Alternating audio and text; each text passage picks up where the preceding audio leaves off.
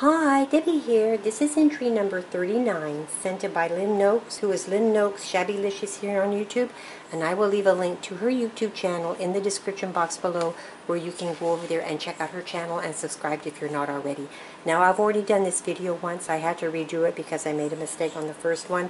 So, um, so I'll, we'll just walk through it together and, and, and um, I'll show you what she sent. Well, anyway, the first thing I'm going to show you now is this little, like, postcard that she had had sent, and her her um, address and everything is on the back. So I'm not going to show you the back, but this is how she did the front of it, and it is really pretty with all the appliques and the trim and the flowers, and she's put pearls in the center.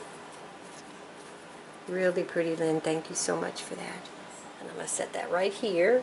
So she did make me, and she did give me two appliques so, so pretty. She gave me two of these. Look at the sparkle on those. And they have little dangles that come down. Me this one. And she gave me another one, so she gave me two. Thank you so much for those, Lynn. They are beautiful. What beautiful appliques.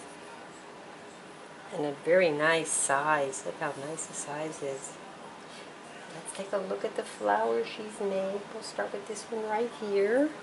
She's made this one with, you know, with the trim and doilies. And she's got this little flower with the little bling in the center. And she's got it backed up with a little teeny tiny doily.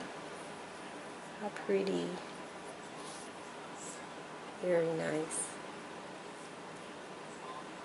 Then here's another one she's done with the doilies. These are real pretty. And she's got the little pearl center. Can you see that? Look at that. How pretty.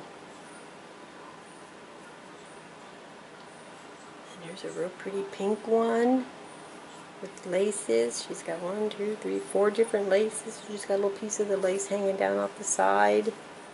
Another pretty flower center with a little bling like that.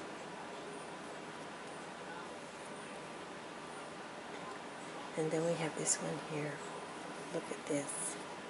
Now this, I'm not sure that this is eyelash trim or not, but it is so, so pretty. And it makes it look so, when I fluff this up and I go to use it, it's going to look so shabby. Thank you so much. These are really pretty. The, the flowers you sent me are beautiful, and thank you for the little appliques too. And this is such a cute idea with the, um, with the little like IC card or postcard with your address. Um, I want to you just need to let me know what you want to be in the draw for. And uh, I want to thank all of you for watching. And I'll talk to you again soon. Bye for now.